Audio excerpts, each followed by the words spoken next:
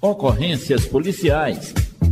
Oferecimento Gildomar Baterias e Casa de Carnes Barra Alegre. E aí, parceiro, o carro pifou, o que tá pegando aí? A bateria tá, tá, tá no pé. Gildomar Baterias é a solução, é. No pé. Vou falar de novo, hein? Gildomar Baterias. Não fique estressado, é Gildomar Baterias, distribuidor exclusivo da marca KF, a força do momento.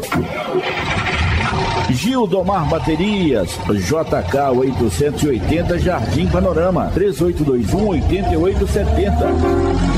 Bateria KF, a força que seu veículo precisa. Há mais de 29 anos de tradição no mercado brasileiro, chegando agora ao Vale do Aço. Tem mais energia nas partidas porque é produzida com a mais avançada tecnologia que garante qualidade superior. Bateria KF você encontra com exclusividade a partir de R$ 119,90 a base de troca no Gil Tomar Baterias. JK 880 Jardim Panorama em Patinga, 3821 8870. Bateria KF.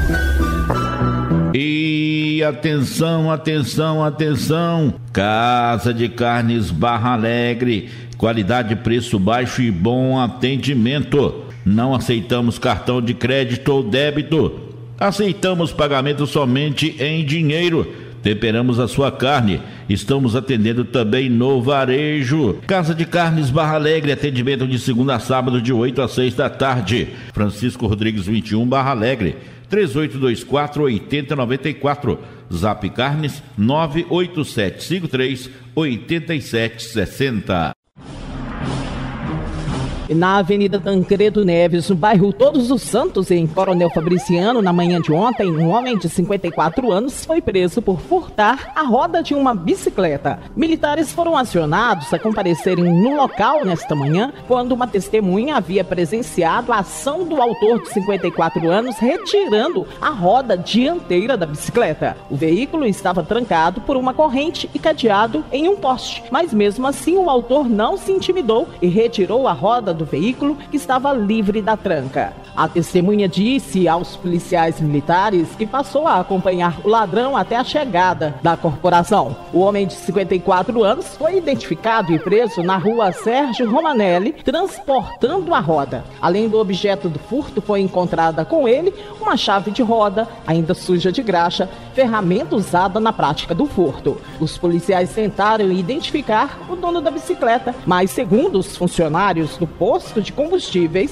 todos os dias. O proprietário desta bicicleta tranca o veículo no poste por volta das 5h40 da manhã e pega carona em um automóvel, possivelmente para o trabalho. Normalmente retorna a pegar a bicicleta no fim da tarde. Os policiais militares pediram que os frentistas do posto de combustíveis informassem ao homem para que procurasse a polícia assim que chegasse do trabalho. O resto da bicicleta permaneceu trancado ao poste sem a roda dianteira. O preso, que já possui passagens pela Polícia Militar, autor deste furto, foi encaminhado junto ao material para a Delegacia de Polícia Civil. Um homem já conhecido no meio policial por várias passagens foi preso pela equipe militar em Coronel Fabriciano. O autor estava com mandado de prisão em aberto. O repórter J. Passos conversou com o tenente Rodrigo do 58º Batalhão, que deu mais detalhes sobre esta ocorrência. A participação do primeiro tenente Rodrigo,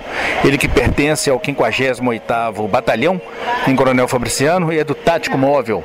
A Polícia Militar mais uma vez dando a resposta à sociedade logrou êxito aí em capturar indivíduo que possuía mandado de prisão em aberto e garantir aí a tranquilidade da sociedade mineira. A, o indivíduo já era conhecido no meio policial pelo fato de encontrar-se aí a ordem judicial em aberto, né?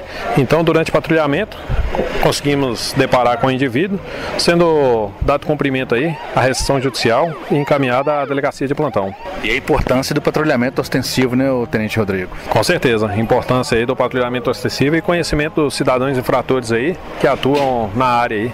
Da unidade. E a Polícia Civil de Inhapim cumpriu em Belo Oriente um mandado de prisão preventiva em desfavor do segundo suspeito de praticar um homicídio contra Divino Lourenço da Silva, de 40 anos, na zona rural do município de Inhapim, no dia 14 de junho deste ano. No dia dos fatos, a Polícia Militar foi informada que um cidadão teria sido localizado debaixo de uma marquise de uma construção no distrito de Santo Antônio do Alegre, com sangramento na boca e encoberto por um lençol de cor branca. Os militares foram até o local e encontraram o corpo de Divino com diversas perfurações de faca. A polícia identificou na época que dois suspeitos participaram do crime: um jovem de 20 anos que foi preso um dia após o fato e este de 26 anos que estava em liberdade. De acordo com a Polícia Civil, com o cumprimento do mandado, o suspeito foi encaminhado ao presídio de Açucena para as demais providências. Policiais civis da Delegacia Especializada de Atendimento à Mulher, em Ipatinga, deram cumprimento ao mandado de prisão preventiva expedido em desfavor de um homem suspeito de descumprir medida protetiva de urgência em favor da sua ex-namorada. A vítima teve um curto relacionamento com o suspeito que não aceitou o término e sofreu diversas ameaças dele. Mesmo após a expedição da medida protetiva, o homem continuou com as ameaças e perseguições contra a vítima.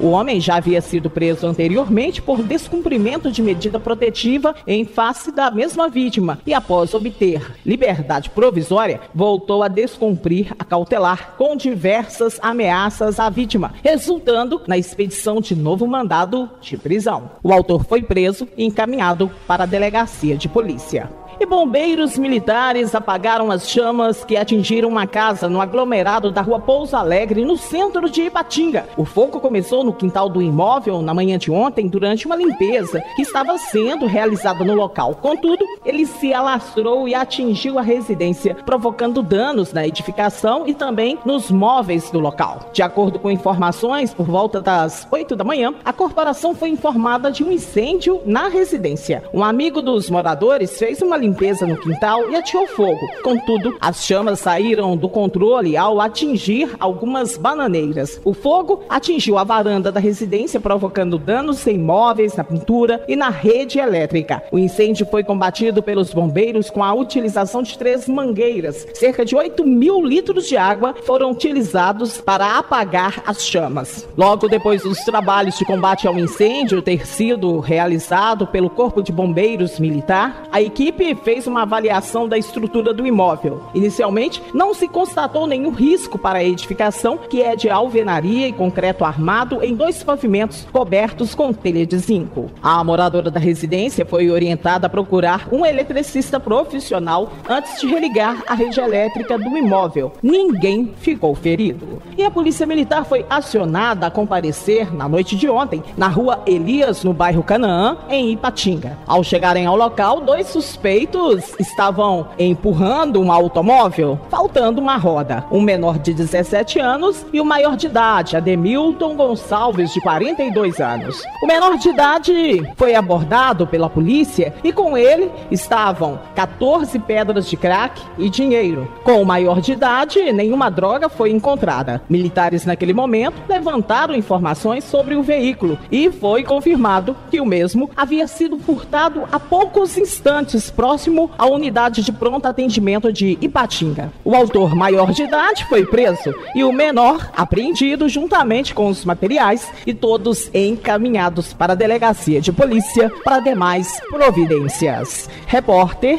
Sandra Serafim.